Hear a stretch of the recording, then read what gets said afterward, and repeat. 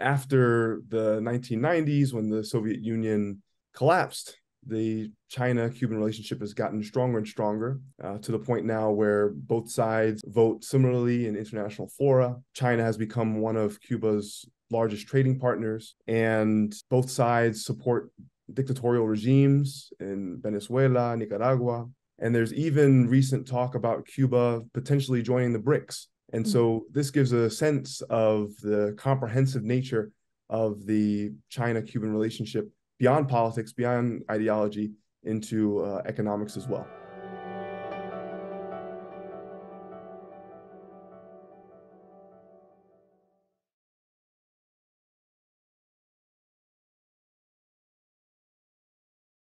Hello, everyone. My name is Margaret Myers. I'm the director of the Asia and Latin America program at the Inter American Dialogue in Washington, D.C.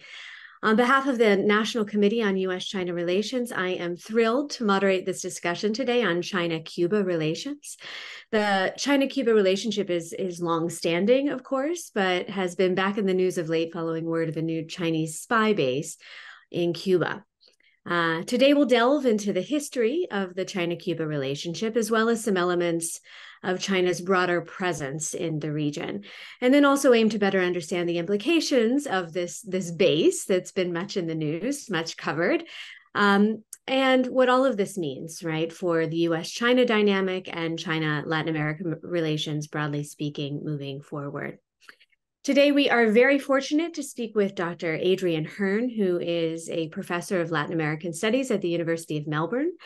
Um, and was among the very first scholars to ever delve in, in any real depth into the China Latin America dynamic and especially the China Cuba dynamic. Uh, we are also absolutely thrilled to welcome Leland Lazarus, a prolific writer on the topic, including on China Caribbean relations, among many other things um, and also Associate Director of the National Security Policy Program at Florida International University.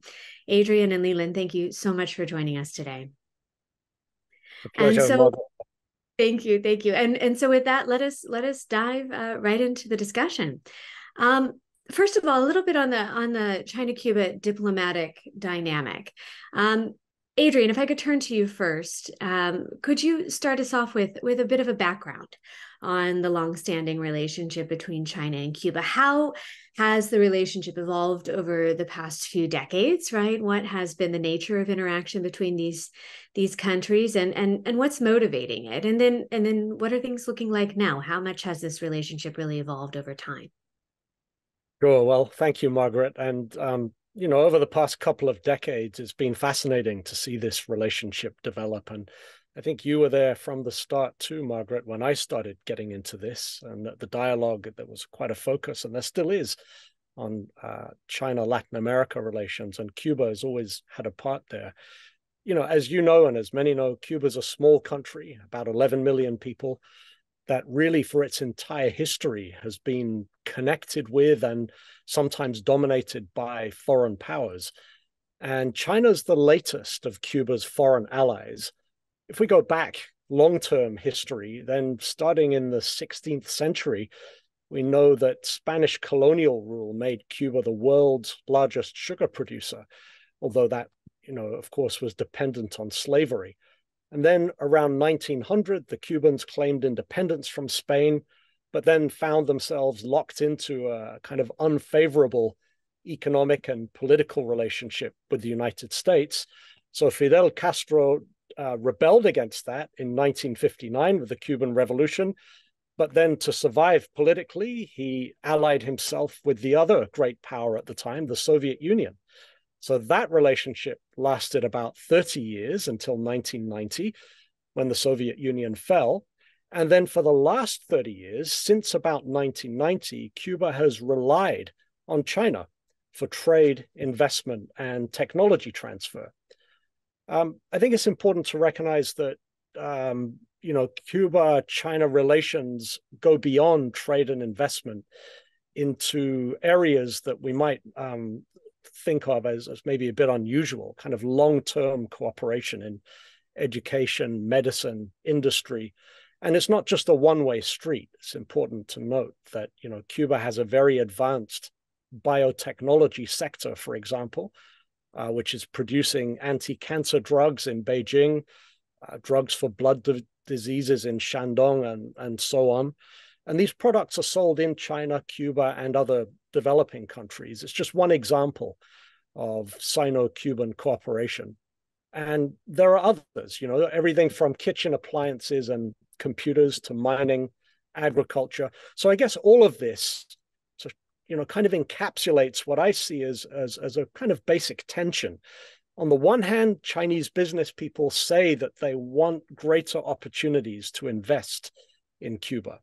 But on the other hand, there are restrictions on foreign investment in Cuba that arise both from the US embargo, but also from Cuban law. And I think the Cubans are worried about once again falling into dependency on a foreign power.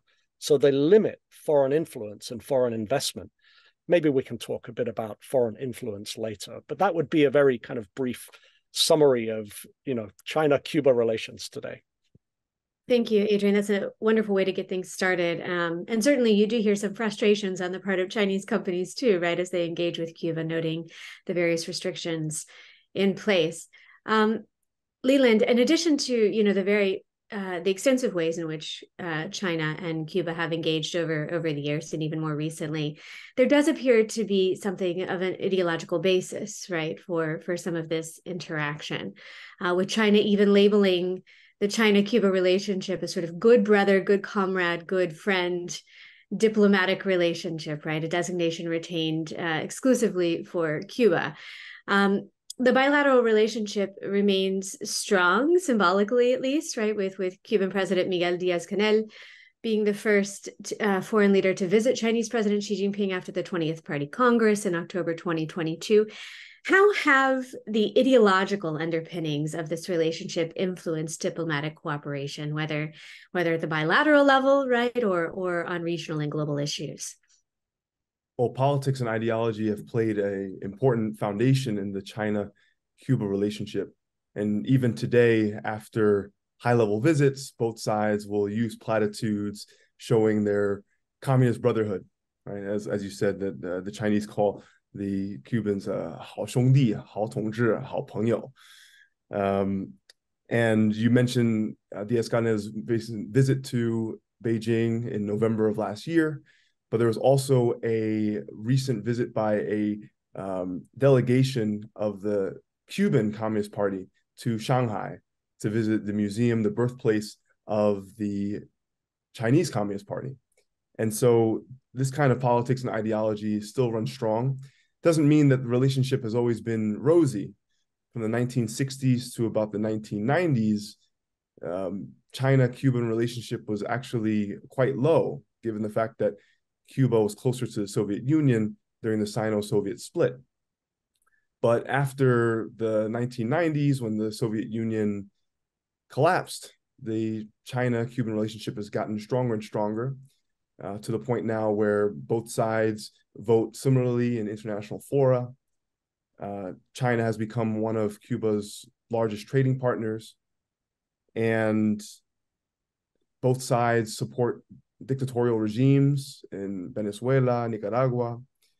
And there's even recent talk about Cuba potentially joining the BRICS.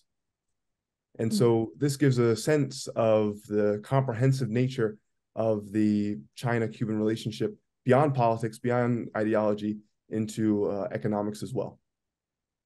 Thank you so much. Uh, let's delve into a little bit of a question. I mean, given the that you know this, this extensive attention placed on on the spy base has has in many ways motivated this discussion or uh you know in the first place let's take uh, talk a, a, little bit about about the security dynamic at play. And leland if i can turn to you first um you know what would be the cuban government's rationale for allowing a a chinese observation intelligence spy facility on the island uh, or even for pursuing other intelligence related cooperation and and should the U.S. be worried about this?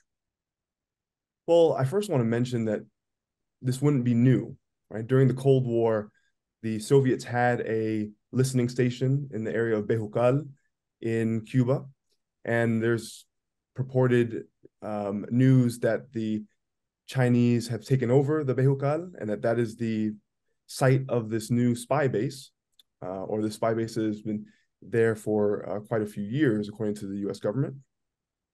But there uh, really could be two reasons. You know, one is that Cuba becomes a recipient of some of the information and intelligence that the Chinese glean from this spy base. Two is perhaps there was an economic quid pro quo where China was going to increase its economic engagement in Cuba in exchange for um, setting up the spy base in Cuba. And apparently, the, the Chinese are paying billions of dollars in order to have this spy base on um, Cuban soil. Now, whether it's a security concern for the United States, it's still up for debate because there are some security professionals who think that this is simple surveillance, spy versus spy uh, kind of things. Of course, the United States has various spy facilities and intelligence facilities around China's near abroad. And so this is a, a response to that. But another way to think about this is that it does cause a very real security concern, especially with the fact that Cuba is just 90 miles from the state of Florida. And in Florida, there are significant US military facilities, especially US Southern Command, which is in charge of all US military and humanitarian assistance and programming in Latin America and the Caribbean. That's close to Miami. And then you have US Central Command uh, for the Middle East and US Special Operations Command, both based in Tampa. And so it's not outside the realm of possibility that this spy base can intercept sensitive information that's passing from the Pentagon in Washington to these military facilities. The spy base could potentially track US naval and commercial ships that's passing in the port of Miami and other ports in uh, the US Southeast. And the Chinese could potentially be tracking uh, US military engagement, military exercises, and trainings that we consistently do with our allies and partners in the region.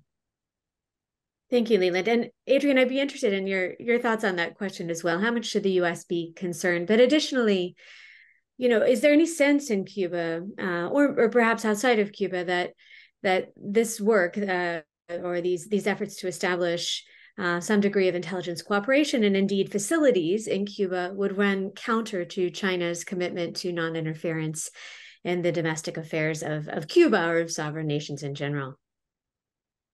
Great question. Thanks. I mean, I think this idea of non interference, we often see this arise in Chinese discourse about other parts of the world. And, you know, I think it's it's a difficult thing to achieve for any country, uh, especially when their enterprises are enmeshed in foreign economies. How can they genuinely not interfere? I think a good example of this is China's five year security agreement with the Solomon Islands, which here in Australia has caused some concern. But then, if you look at the text of the agreement, which has been leaked, uh, you know, officially the agreement's goal, uh, according to the text, is to protect the supplies for Chinese companies that are operating there. So you you kind of see this overlap of strategic and commercial interests, which makes non-interference a really difficult thing for I think any country to achieve. I'm not surprised that non-interference has emerged as a topic in relation to you know these allegations of the Chinese spy base in Cuba. Um, and but I mean, my understanding of this is that the allegation was first published in the Wall Street Journal, and then picked up by CNN, and then by uh, cert- certain political commentators such as Nikki Haley.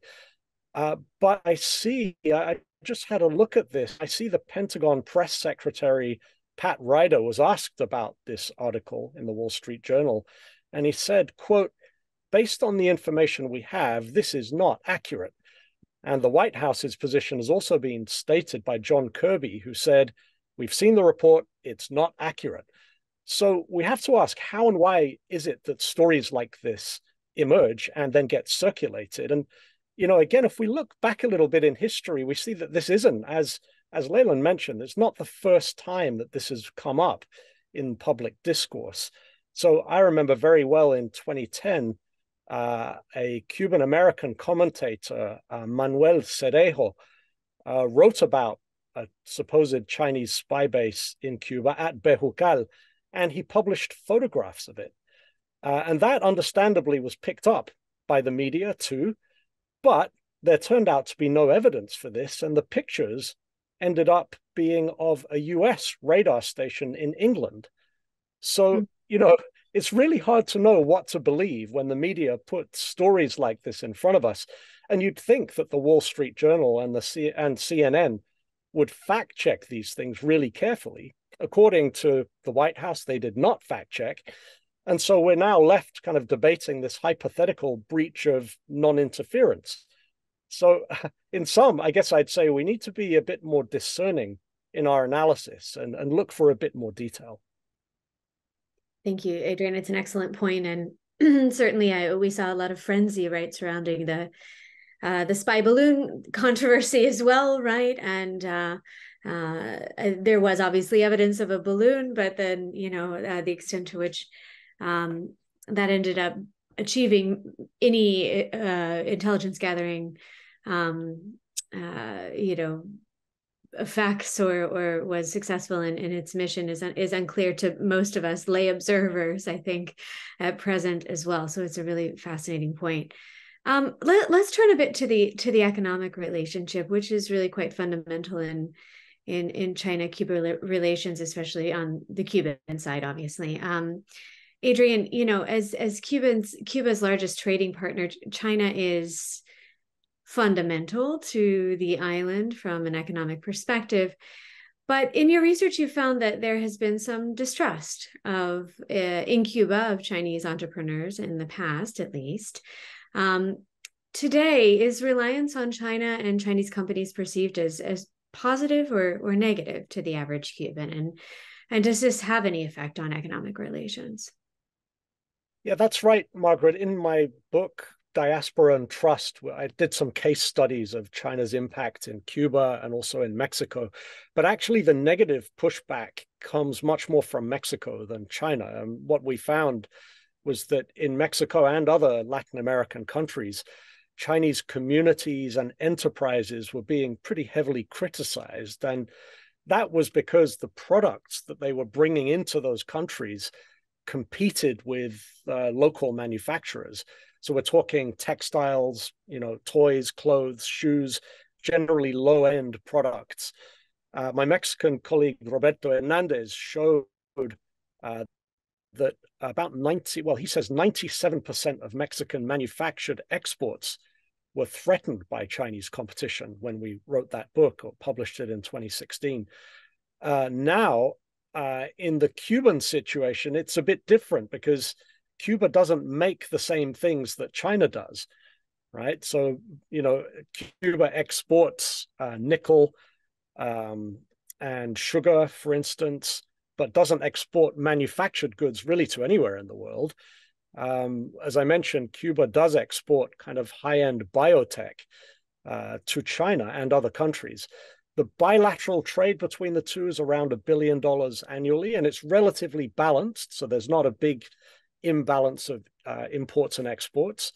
So Cuba's a bit different to many other Latin American countries because you know you you the, the growing prominence of Chinese branded televisions and stoves and refrigerators, cars, uh, buses trains, all of these things have not really provoked a negative backlash in Cuba the way they have elsewhere, simply because it there's not the same kind of competition with Cuba.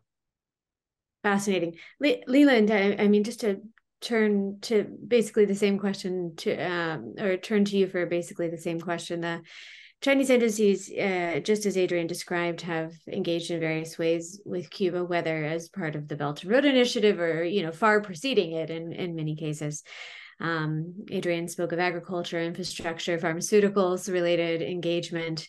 Um, and competition also in, in in the production and exportation of, of low value added goods now we see you know collaboration even in in some high tech areas including artificial intelligence um, what do you foresee as the future of economic ties between the two countries, and that that includes potentially in in the you know financing arena?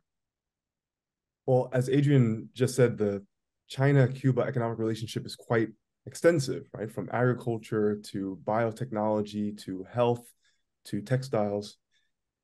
But I would say that in the future, um, there are probably going to be three areas where there's going to be increased relations. One is in cybersecurity and telecommunications.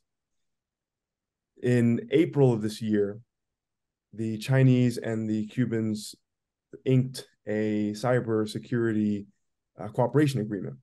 Mm-hmm. And in that cybersecurity agreement, there was also a uh, agreement to boost relations in telecommunications, which has already been quite robust. Chinese companies like Huawei, ZTE, TP-Link already have a quite strong relationship with ETECSA, right, the state-owned telecommunication company in, in Cuba. In terms of artificial intelligence, Huawei is reportedly going to build an artificial intelligence center in Cuba.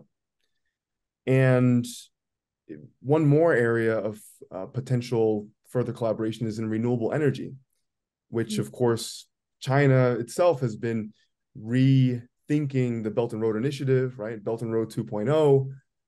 And part of that push will be in renewable energy, electric vehicles, critical minerals.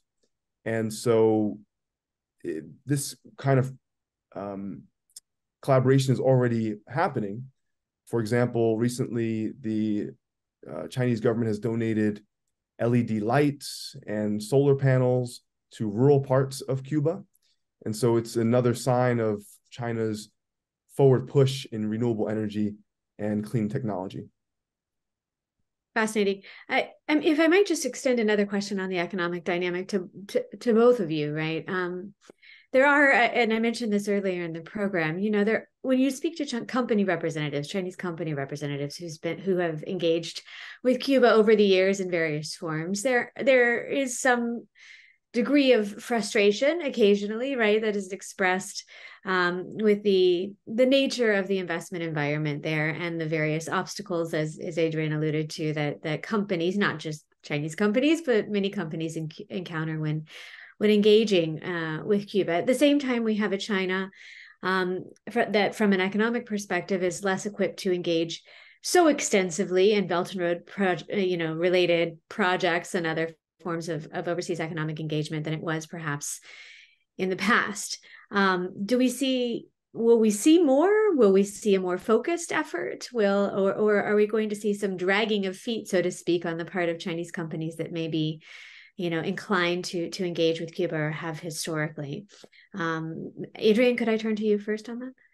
Sure margaret. The you know the most interesting proposals for investment that i've seen uh, in Cuba were um, really around the Mariel project and uh, using that as a as a manufacturing base to then export around Latin America. But key key the key thing for the Chinese prospective investors was being able to export into the US. Mm. That's what they want. And so when Obama was in power and reestablished the the embassies and you know there was a feeling that the embargo might actually be sort of coming towards its tail end. And that, you know, uh, really garnered a lot of interest in China and other countries that were looking at Cuba as a manufacturing hub. And I think until we see some movement on the embargo, that it's difficult to see that there would be realistic large scale investments in Cuba because, you know, it's just not realistic for for the economy to operate in an international sense when under those conditions.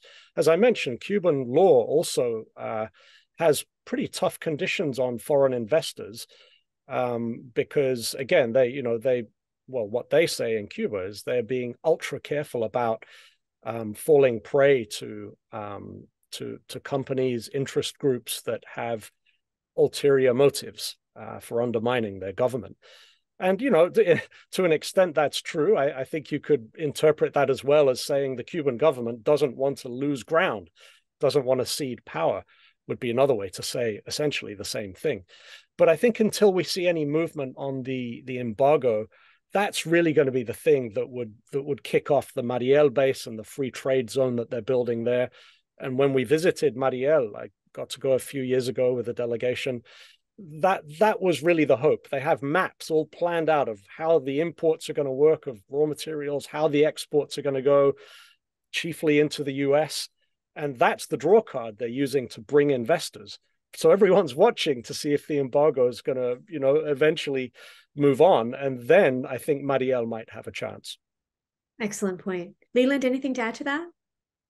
Margaret, you've written extensively about how the Belt and Road Initiative will potentially change or is already changing in Latin America and the Caribbean, right? That we won't necessarily see a large financing of big ticket items as often, that there's been a more of a major shift into public private partnerships, into mergers and acquisitions, and not necessarily these big greenfield projects. And that that is actually a microcosm of a larger issue that China has had over the past decade with the Belt and Road, right? Spending over a trillion dollars in big ticket development projects throughout the world. And 60% of these recipients are in arrears or are um, in debt. And so it really has forced the Chinese government and various Chinese entities to rethink their BRI strategy. And I think one more thing I want to mention is that the Belt and Road started in a different China, right? When China's economy was quite strong and the various Chinese state owned enterprises had excess steel and excess glass and excess aluminum and excess concrete that they wanted to export abroad, right? Uh, now, China's economy is going through some tough headwinds. There's uh, potential issues of deflation there is 20% youth unemployment. There is massive debt uh, among the provincial and municipalities. And so uh, exports, of course, have uh, decreased as well as more and more multinational corporations are diversifying their economies, uh, their supply chains out of China. And so we're seeing a, a different China facing different problems, and that may also have implications for various Belt and Road initiatives. Thank you. Yeah, it's an excellent point, and I think also for you know the extent to which China will be willing to finance new projects, whether large or small, right, in in, in the Cuban context, uh, and broad, more broadly in the region. Um, thank you. Let's move on a little bit to the to an uh, you know broader conversation of the U.S. China, Cuba, U.S. China, Latin America dynamic. Um, Adrian, you know, as as we know, uh, U.S. officials have expressed often extensive concern uh, about growing Chinese influence in the region. To what extent does Cuba pay any heed to to these sentiments? Um, it's not something maybe entirely new for Cuba, right? Especially given the the the U.S. Uh, Cuba dynamic over the years. Um, and and do U.S. views affect uh, China Cuba bilateral relations in any in any real way? Yeah, that's a good question. I think it's one that's relevant as well beyond Cuba to Latin America, because there's really been kind of mixed reactions as you look across Latin America, mixed reactions to these these concerns about Chinese influence, and especially, as you put it, U.S. concerns about Chinese influence. And so some countries in the region, I think, share those concerns about Chinese strategic goals, while others you know, have said they want more in more independence from what they see as excessive U.S. influence. So we're seeing that play out this week in South Africa with the BRICS summit. You've got Argentina, you've got Bolivia, as well as several countries from outside the region, such as you know the oil-rich countries, Saudi Arabia, Iran. They've officially said they want to join the BRICS, and one of their main goals is to diminish their reliance on U.S. dollars and increase their use of Chinese renminbi. So I think you know one of the kind of more interesting and useful ways to understand U.S. concerns in the region is to kind of look maybe a bit beyond the zero sum um, equations and, and try to see what the gray areas might be to mm-hmm. see if there are even possibilities for collaboration. This came up a few years ago when uh, you'll remember I, I, put a book together with and in, and the dialogue was involved. A book called China Engages Latin America, and one of the contributors was Dan Erikson, uh, you know, who's now at the Department of Defense, and he wrote about the prospects of this this idea, the trilateral China, Cuba, U.S. cooperation. And I, I, just wrote one of the sentences here that he wrote in his chapter. I just want to quote him. He says, if Chinese officials continue to encourage the further opening of markets in Cuba, then this could be quite welcome from the US perspective. But the current Cuban leadership has resisted in treaties to embrace the China model of economic reform. So it's interesting. Dan's describing there China's model of economic reform as something that would be positive for Cuba and for the region. Uh, he also wrote this. He wrote, if China and the United States both deal with Latin America in a manner that is open, transparent, and respectful of multilateral systems, then this may usher in a new breed of regional diplomacy. And you know, it's it's amazing looking back because it wasn't that long ago that we did this book, but it seems that uh, you know, when Leland said before it was a different China that inaugurated Belt and Road, I sort of feel like we're in a bit of a different world now too, where this type of optimism and uh, enthusiasm, you know, possibilities of collaboration are really far and few between now. But personally, I couldn't agree more with what Dan Erikson said there. It, it makes sense to look for overlapping interests yeah. and including the benefits of multilateral systems rather than being fearful for the future. I mean, I the quote that came to my mind when I was reading that was uh, from Franklin Roosevelt, who famously said, I think when he was inaugurated in 1933, there is nothing to fear but fear itself right? And I sort of feel like that's a good thing for us to remember at this point because it makes, if you think about it, it makes better strategic sense to take a cooperative approach rather than a fearful one, because that way you can discuss problems as they arise rather than turn backs and not understand. And I think the China Cuba US relationship really has this potential to develop in a more cooperative way but we're going to need to move into a, a probably uh, slightly more receptive global environment uh, for that to happen. Right. There is still low hanging fruit. It's higher hanging perhaps than it once was, but nevertheless worth worth pursuing opportunities for for prospective collaborations. Thank you so much, Adrian. Those are those are critical words. Um, we have time for one more question, and if I if Leland, I could I could turn this one to you. Uh, you know, in addition to this this news about about the spy base in Cuba, there's been another big development in in the U.S. Latin America China relationship. The just uh, in July, right, just uh, last month, the Senate Foreign Relations Committee introduced what's called the IDB Transparency Act or Inter-American Development Bank Transparency Act. It's a bipartisan bill that would require the U.S. Treasury Department to publish a report every two years that discloses all of the Inter-American Development Bank's, uh, you know, PRC funded projects as well as uh, the extent of, of, of, PRC technologies subject to US export controls that are involved in, in IDB projects, and then also draft an action plan for the US to reduce Chinese influence at the IDB. This has been met with with um, a, a, lot of different reactions, right, from from different folks uh, uh, who who look at this at this topic in in depth. Um, what what do you see uh, this bill, or what impact do you see this bill having on on U.S. Latin America and then also on China Latin America relations? Is it the correct approach?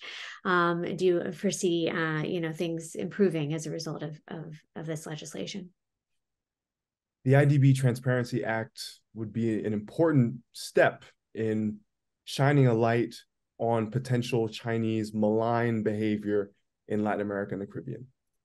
There's been, of course, extensive reports, articles, op eds about certain Chinese projects that have engaged in environmental damage or corruption or labor violations. But there hasn't been a one stop shop dashboard or database that really shows that kind of damage in its totality. And so, to the extent that the IDB Transparency Act can require the IDB to create that kind of list so that people can see the kind of Chinese state owned enterprises that are repeat offenders in environmental damage and corruption and so on and so forth. I think that would go a long way in ensuring that more Chinese projects are open transparent, and respectful of international norms. But an interesting piece of the language in the IDB Transparency Act, uh, which I want to focus on, is that they say that they want to uh, put a specific focus on PRC funded projects that directly impact US national security, right? Or are around US military facilities and, and can co- pose a threat. And I think that's a really important distinction. Not all Chinese projects are bad, right? Sure, you have examples like the Coca Codo Sinclair Dam in Ecuador, built by the state owned enterprise Sinohydro. It was built in 2016, and now there are 17,000 cracks in it. It's caused environmental erosion. The Ecuadorian government is suing Sinohydro for such shoddy work. But then you also have companies like BYD, right? One of the leaders in electric vehicles wanting to build an electric battery plant in Chile. You have Chinese finance supporting uh, the largest solar park in Argentina, right? And which is actually the largest solar park in the whole region. And so it's really important to distinguish the good, the bad, and the ugly with regard to Chinese engagement in Latin America and the Caribbean. And lastly, with regard to what the US can do or what the US can do more in order to support Latin American and Caribbean growth, the US doesn't have to do it alone. Right? I think the, the one of the key parts of our strength is our allies and partners. And there are definitely ways in which US entities and our European partners, our Japanese partners, our South Korean partners can really pool resources in order to support key infrastructure projects uh, and, and critical mineral mines and other important projects in Latin America and the Caribbean. The EU, for example, just hosted various Latin American and Caribbean leaders in Brussels for the EU CELAC summit. And the EU pledged 45 billion euros as part of their global gateway project in Latin America and the Caribbean. Is there a way for the, the US America's partnership for economic prosperity for there to be synergy with APEP and Global Gateway? Thank you so much, Leland. I wish we had we are rapidly approaching the end of this and I wish we had a lot more time to discuss this this particular bill, but also the, the wide-ranging other legislation that's being proposed. Um, you know, uh, as concerns the the the U.S. China uh, Latin America dynamic and and how best to grapple um, with what is an evolving landscape. Um, with so allow me to thank you both for the excellent contributions the fantastic analysis and what has been a really very enjoyable conversation. Um, thank you also to jessica Bessette and, and the team um, at the the us committee and uh, really also for the opportunity to moderate this discussion. It's been a real honor